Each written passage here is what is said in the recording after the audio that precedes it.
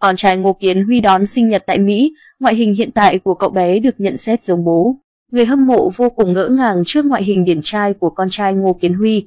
Mới đây, trên trang cá nhân, ca sĩ Thanh Thảo đã có bài đăng chúc mừng sinh nhật bé Jackie Minh Trí. Cậu bé năm nay đã tròn 11 tuổi. Nữ ca sĩ bày tỏ sự tiếc nuối khi không thể tham dự tiệc sinh nhật của con trai. Cô cho biết, dù ở xa nhưng vẫn chuẩn bị chu đáo món quà dành tặng cho con.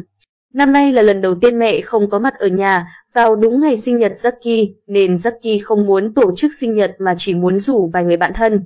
Đến nhà chơi và cùng nhau chơi game, ăn bánh, mừng anh hai tròn 11 tuổi.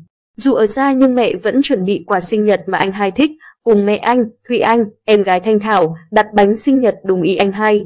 Chuẩn bị cho anh hai một ngày kỷ niệm thật vui cùng các em cũng như bạn bè, Thanh Thảo chia sẻ. Bên cạnh đó, Thanh Thảo cũng hy vọng bé Jackie sẽ luôn thông minh, học giỏi, ngoan ngoãn và mau ăn chóng lớn. Dù tiệc sinh nhật thiếu mẹ nuôi, Jackie vẫn giữ tâm trạng vui vẻ bên bạn bè, người thân.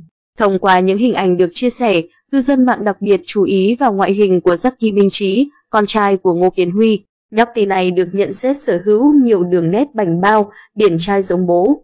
Nhiều người còn nhận xét Jackie Minh Trí là bản sao của ông bố nổi tiếng. Trước đó, câu chuyện tình ái của Ngô Kiến Huy và Thụy Anh, em gái ruột Thanh Thảo từng khiến cả cõi mạng xôn xao. Sau drama tình ái, con trai chung của cả hai được Thanh Thảo nhận nuôi và chăm sóc. Thụy Anh đã có gia đình mới còn Ngô Kiến Huy hiện đang độc thân sau khi kết thúc cuộc tình 8 năm với Khổng Tú Quỳnh. Cách đây 2 năm, vì sự tò mò, con nuôi Thanh Thảo đã lên mạng tìm thông tin người bố và có những thắc mắc.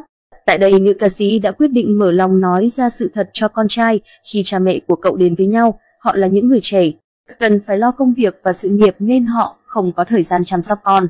Từ khi con ra đời đến nay, cha ruột quá bận rộn nên chưa từng một lần gặp mặt nên con không biết là ai cũng đúng thôi. Khi được hỏi về việc muốn gặp bố ruột không, Jackie cũng thẳng thắn nói, con không muốn khóc. Con nghĩ rằng mình sẽ không gặp lại bố ruột, con chỉ có gia đình mình thôi.